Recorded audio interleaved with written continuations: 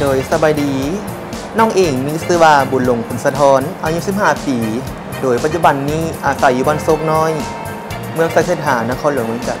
เมื่อคัดเลือก น้องเลือกเอาเพลงกุหลาบลงพระบาง แต่งโดยอาจารย์คำลาเพชรดารารู้สึกตื่นเต้นและดีใจที่ได้ยินชื่อตัวเองเข้าใน 30 คนสุดท้ายพร้อมห้องสนเลิศน้องเลือกเอาเพลงย่างไก่อ้ายก็มีแหง